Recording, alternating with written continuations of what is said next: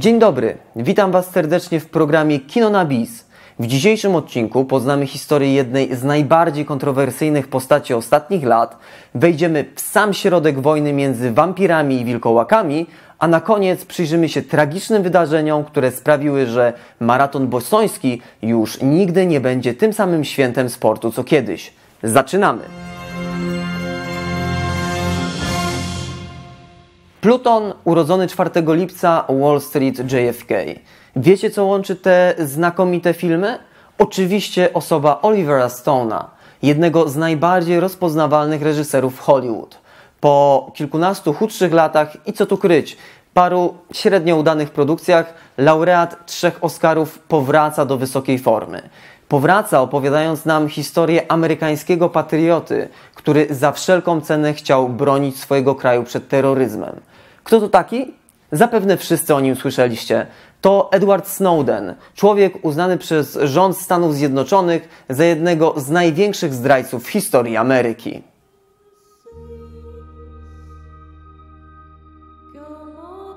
The modern battlefield is everywhere. I'd like to help my country make a difference in the world. You want it to be special forces? Yes, sir. Find the terrorist in the internet haystack. You ready for a little action? Think of it as a Google search, except instead of searching only what people make public, we're also looking at everything they don't. What is this? The house is bugged. By who? Młody, niezwykle utalentowany w dziedzinie informatyki Snowden szybko pnie się w górę w strukturze wewnętrznej CIA. E, To sprawia, że poznaje coraz więcej sekretów agencji. E, Sekretów, które w wielu przypadkach nie idą w parze z wyznawanym przez niego systemem wartości. Okazuje się, że amerykański rząd śledzi ludzi. E, Nie tylko terrorystów, ale wszystkich. Swoich obywateli, was, mnie, dosłownie wszystkich. Inwigilują maile, podsłuchują rozmowy telefoniczne, zaglądają nam do sypialni. Snowden staje przed dylematem, co zrobić z posiadaną wiedzą. Po przeanalizowaniu wszystkich za i przeciw, nasz bohater podejmuje decyzję, która zaważy na całym jego przyszłym życiu. Did you access an unauthorized program?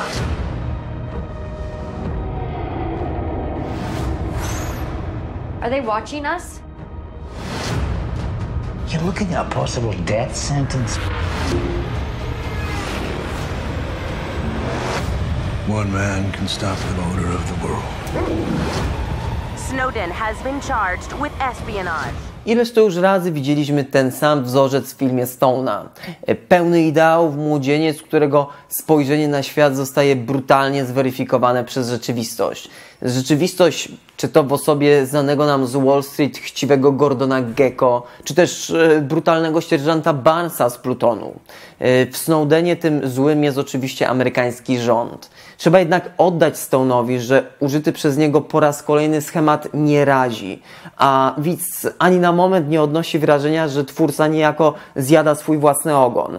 E, Reżyser bardzo sprawnie żongluje kilkoma płaszczyznami czasowymi, pokazując nam, jak wielkie było poświęcenie Snowdena i w jaki sposób odbija się ono na jego wciąż dość młodym życiu. E, Film jest odpowiedziany w sposób e, energiczny, przez co oglądając go na pewno nie poczujemy nudy. Na ekranie mnóstwo dobrych aktorów. e, Laureaci Oscara Melissa Leo i Nicolas Cage może nie grają w tym filmie swoich najlepszych ról, ale są to bardzo solidne występy. E, Bardzo dobrze na ekranie wypada znany e, z Notting Hill czy niesamowitego Spidermana Rhys Ifans. Jednakże mm, trzeba przyznać, że to grający Snowdena Joseph Gordon-Levitt kradnie całe show. Zresztą nie ma co się dziwić, skoro zarówno reżyser, jak i aktor przed rozpoczęciem zdjęć e, polecieli do Rosji, by spędzić trochę czasu z przebywającym tam Snowdenem. E, Każdy gest, fizyczne podobieństwo, nawet tembr głosu Gordona Levita, to wszystko jest bardzo autentyczne, dając nam wrażenie, że faktycznie patrzymy na Snowdena, a nie na wcielającego się w niego aktora. E, minusem filmu jest natomiast występ Shailene Woodley, która gra narzeczoną głównego bohatera. Kobietę, która odgrywała w jego życiu bardzo ważną rolę. Tymczasem oglądając film widzimy bezbarwną, nieprzekonującą, żargonowo mówiąc papierową postać. Podsumowując, Snowden Olivera Stone'a to bardzo poprawnie zrealizowana produkcja, dowodząca, że słynny reżyser jest jeszcze daleki od pójścia na emeryturę. E, dzieło to jest też świetnym obrazem amerykańskiej demokracji z jej wszystkimi zakłamaniami i trupami w szafie. E, mnie ten film przypadł do gustu i zachęcam każdego z Was do obejrzenia go. Zwłaszcza, że od 23 marca jest on dostępny na DVD i Blu-ray.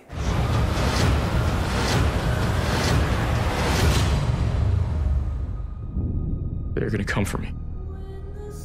They're gonna come for all of you too. Kolejna propozycja na dziś to produkcja, na którą e, czekałem już od jakiegoś czasu. 13 lat po tym, jak film Underworld szturmem zdobył sale kinowe na całym świecie, piękna wampirzyca Celine po raz kolejny powraca na ekrany. E, wykańcza przy tym wszystkich, którzy staną jej na drodze, przy okazji raz jeszcze rozkochując sobie serca męskiej części widowni. The vampire and lichen clans have been at war for centuries, turning our world into a battlefield.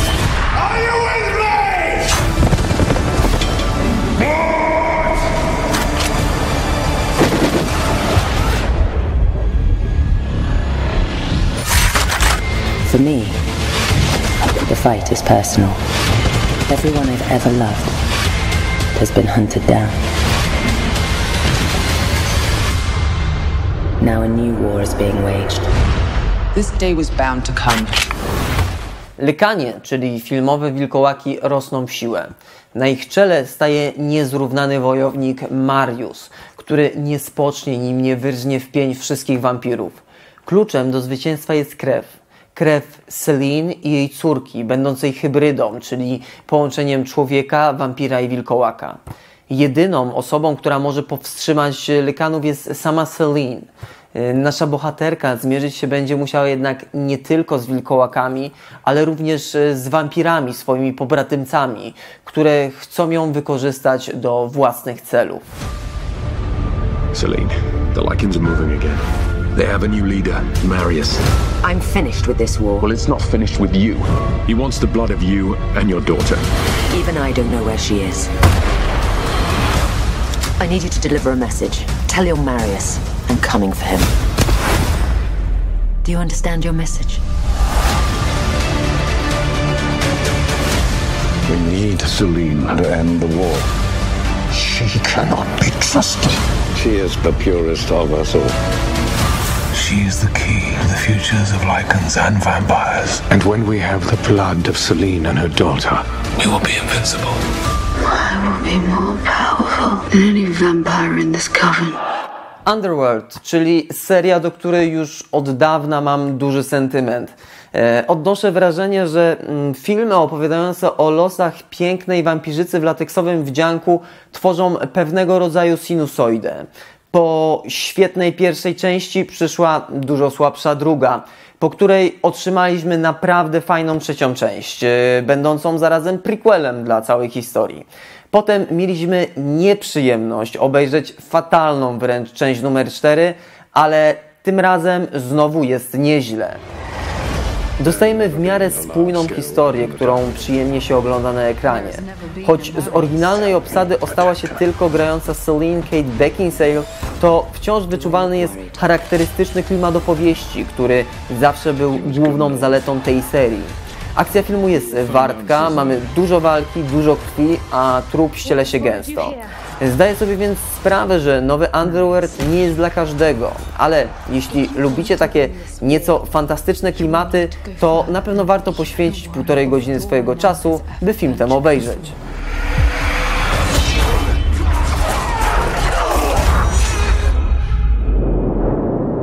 Impossible. Looking for someone. Podsumowując, film Underworld Wojny Krwi to dzieło nieskomplikowane, które nie angażuje nas zbytnio emocjonalnie, przez co jest doskonałym wyborem, jeśli chcemy nieco odpocząć i odstresować się po ciężkim dniu pracy. E, dzieło to ostatecznie zostało sklasyfikowane jako horror, choć do filmu grozy moim zdaniem mu bardzo daleko, to i tak ze względu na e, liczne, drastyczne sceny e, nie polecałbym go młodszym widzom. E, polecam go natomiast wszystkim innym, e, chociażby po to, żeby wyrobić sobie zdanie na temat tej kultowej już serii. E, film Underworld, e, Wojny Krwi od 5 kwietnia dostępny jest na DVD i Blu-ray. Zachęcam do oglądania.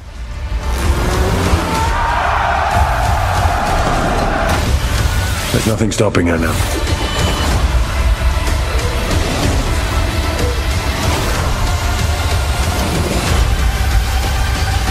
All I want is your blood. Come and get it. –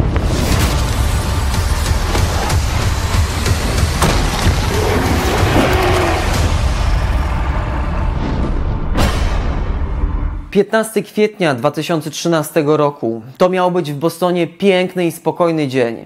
Całe miasto szykowało się na wielkie wydarzenie sportowe, które zgodnie z tradycją miało uświetnić obchodzone w stanie Massachusetts święto patriotów.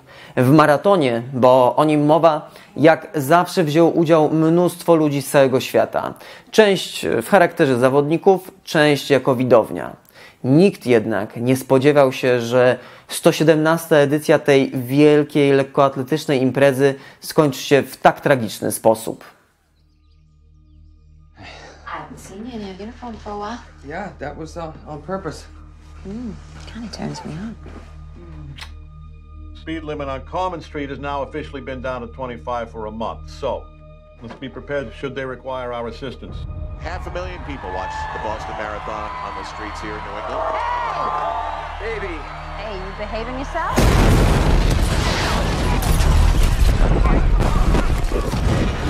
We've got to decide who's running this, and we have to decide quickly. If it's terrorism, it's yours. The moment we label this terrorism, everything changes. It's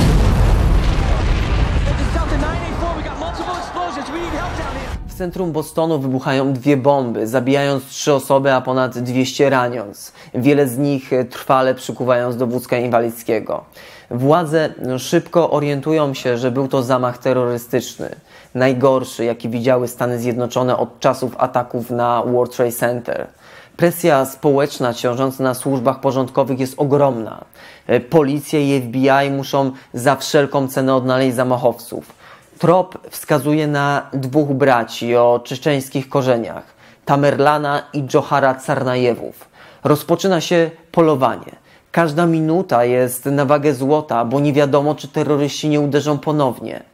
Władze, nie chcąc stracić cennego czasu, decydują się na publikację zdjęć zamachowców, prosząc wszystkich mieszkańców o pomoc w ich ujęciu. Mieszkańców, którzy są ostro wkurzeni. A jeśli czegoś możemy być pewni, to tego, że nikomu nie ujdzie na sucho zdenerwowanie Bostończyka. Zamachowcy są więc w niezłym bagnie. You're not hurt, are you? I'm fine, Tommy. Please be careful. This guy, white hat. That's the guy. We release these photos. The city eats these guys. We are enlisting the public's help in identifying these two suspects.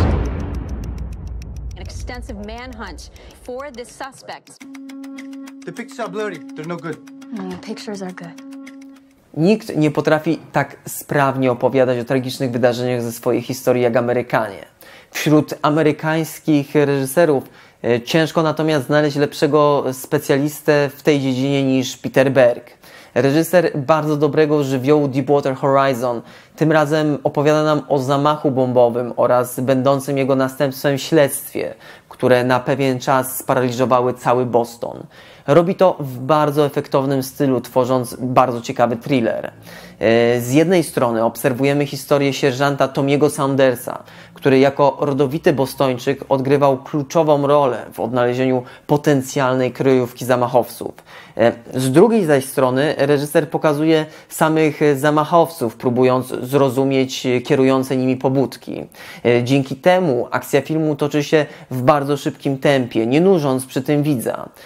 Film ogląda się podwójnie dobrze ze względu na plejadę gwiazd, które widzimy na ekranie. Oprócz ulubieńca reżysera Marka Wahlberga są to chociażby John Goodman, Kevin Bacon czy laureat Oscara J.K. Simmons. E, aktorzy nie zawodzą, a reżyser, wykorzystując ich umiejętności, bardzo dobry scenariusz oraz swój świetny warsztat, wyciska z tej historii cały jej potencjał pokazując jak makabryczne były te kwietniowe dni 2013 roku dla wszystkich Bostończyków. We gotta find these mothers before they do this to somebody else.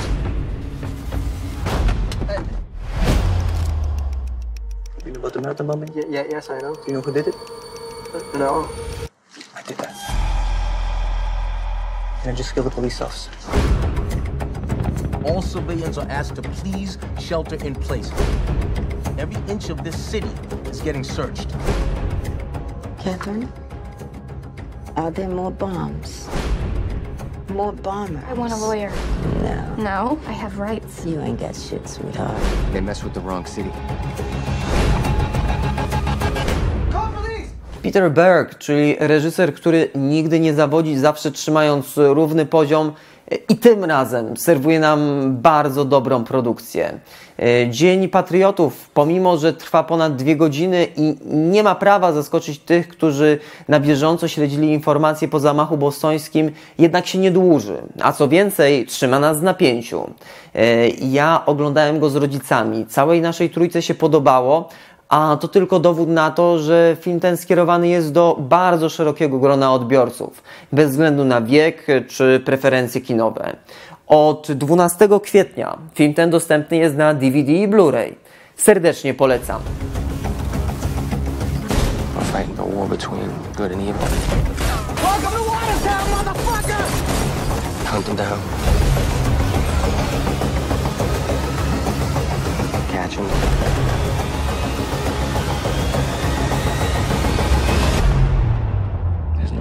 that they could win. Dzisiaj to już wszystko. Teraz się z Wami żegnam i zapraszam do oglądania następnych odcinków programu Kino na Bis, w których jak zawsze dostaniecie świeżą porcję gorących nowości filmowych, które są dostępne do obejrzenia w domowym zaciszu. Do zobaczenia!